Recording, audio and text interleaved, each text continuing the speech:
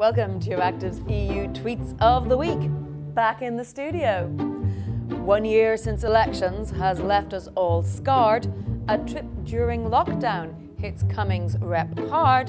And Ursula von der Leyen channels Jean Luc Picard.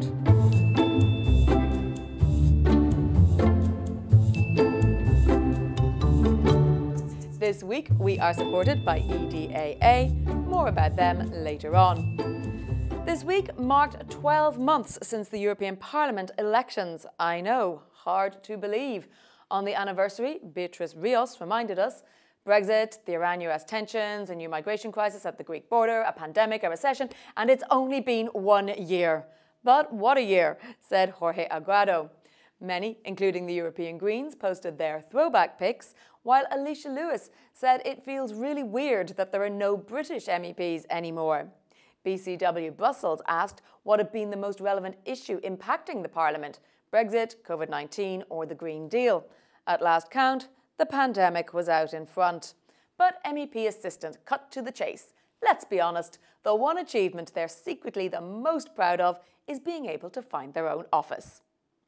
This week, we are supported by the European Interactive Digital Advertising Alliance. You can check out their latest consumer research online.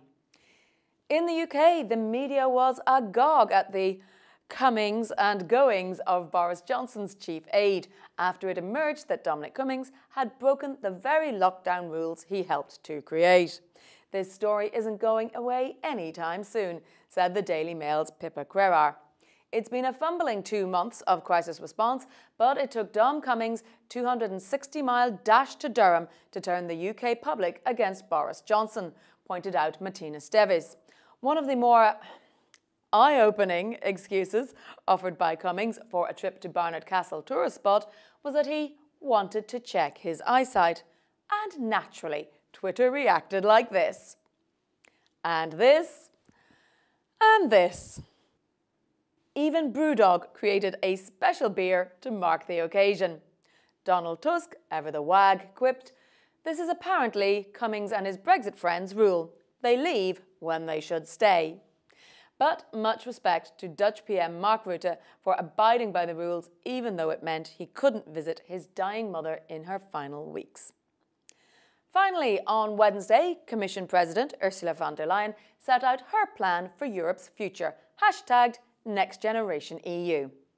So, you name a policy after a sci fi classic, what do you think is going to happen? Yep, Sam Morgan reckons there's a trek head in the Berlaymont Collective. Miguel Carrion expects the plan to boldly go where no Eurocrat has gone before. The FT's Jim Brunsden says, make it so. Although, as Holger Hestermeyer pointed out, the FT's main pick was not of the next generation. Please make sure to hire a nerd. The Commission is much more Picard than Kirk. But back to the detail. Alexander Stubb tweeted, I think this is a good, ambitious package. And yes, I like the name too. Spoof account Martini Seltzemeyer reported the EU Recovery Fund as worth 567 bajillion marillion vermillion euros. It's actually 750 billion, which DG Meme thought should make everybody happy. Join me again next week for more from the Starship Enterprise. I mean, the Brussels Bubble. And remember, if you want to sponsor an episode, do get in touch.